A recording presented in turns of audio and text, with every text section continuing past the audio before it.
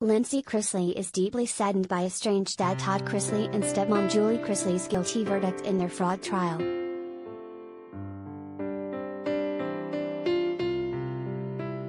I know most of you are expecting to hear from me on my podcasts this week as I took time to be with my family last week, Lindsie, 32, wrote on her Instagram story Wednesday.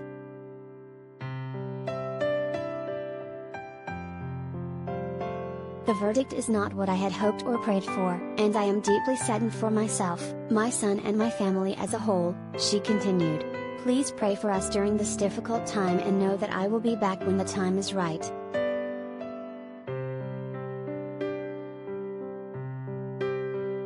The Coffee Convos podcast co host concluded her post by thanking her followers for their continued love and support.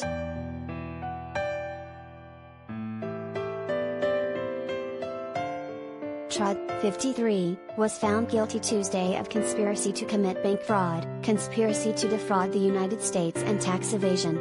Julie, 49, was found guilty of the same federal charges as well as wire fraud and obstruction of justice.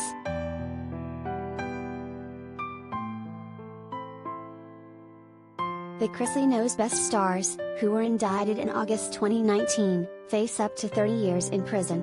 A sentencing date has yet to be scheduled.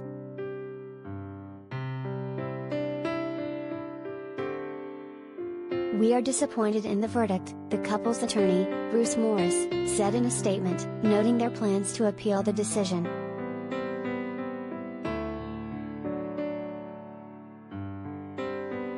Lindsie also appeared to react to the news early Wednesday morning with a photo of her annotated Bible.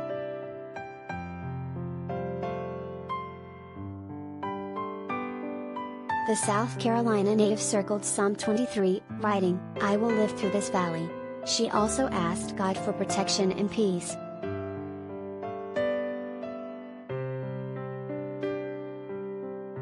At the top of the page, she wrote, Don't magnify someone else's problems while minimizing yours.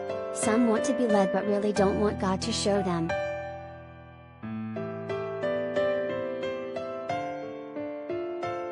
Lindsie spent the last week on a social media hiatus, leaving her followers with a Bible verse about being strong and courageous before stepping back from the platform.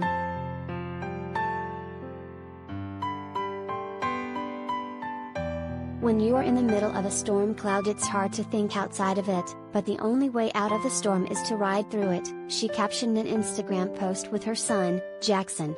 Things will be a lot clearer on the other side.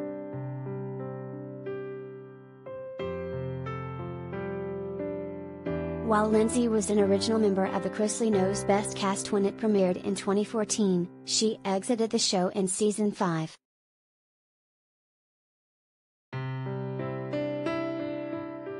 The former USA Network personality has been distancing herself from her family since 2017, telling Entertainment Tonight in September 2021 that she will never reconcile with them.